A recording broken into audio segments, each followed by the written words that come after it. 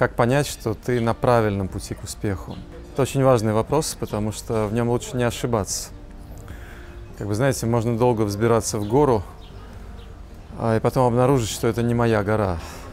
А, поэтому лучше сразу определить эти четкие критерии, по которым мы можем понять, это наш путь к успеху или мы в чем-то ошиблись.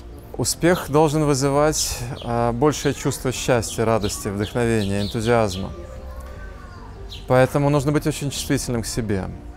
Если я движусь к какой-то цели, и само чувство движения, а, сама эта цель меня вдохновляет, я чувствую радость. Вот это что-то настоящее. Еще один очень важный момент – это сам процесс, деятельность, работа, усилия.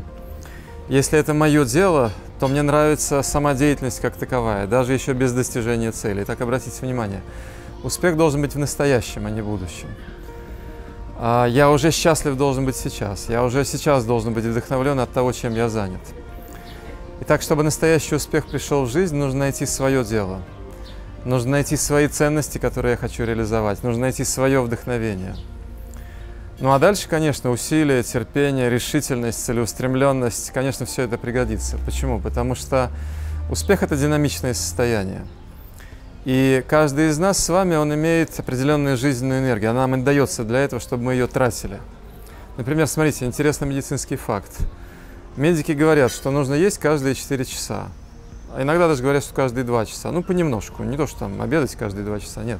Почему? Вырабатывается желудочный сок, и если человек, а, он а, не ест каждые 4 часа, этот желудочный сок, он начинает сжигать сам желудок. Поэтому что-то нужно себе закинуть этого внутрь. Смотрите, нам дается сила переваривания пищи, и поэтому желудок должен действовать. Если мы его не кормим, он простаивает, он начинает сжигать самого себя. Так можно заработать язву желудка, кстати. Точно так же в жизни нам дается жизненная энергия. Нужно быть динамичным, нужно быть активным, Нужно не быть дохлой рыбой, которая плывет по течению. Нужно ставить перед собой какие-то цели и решительно к ним идти. Итак, второе, о чем я говорю. Первое, не забывайте, личное вдохновение. Это мой путь. Я счастлив просто от того, чем я занимаюсь. И далее усилия, активность, движение. Даже если мы будем ошибаться по ходу, не так важно. Путь скорректирует. Например, смотрите, интересный какой образ – чтобы научиться кататься на двухколесном велосипеде, придется много раз упасть влево и вправо.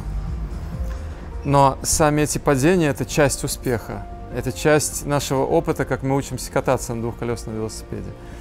Поэтому не э, бойтесь ошибаться, не бойтесь поражений. Извлекайте опыт и двигайтесь вперед к своей мечте, к своим настоящим целям, к реализации своего призвания и предназначения. Вот это путь к успеху.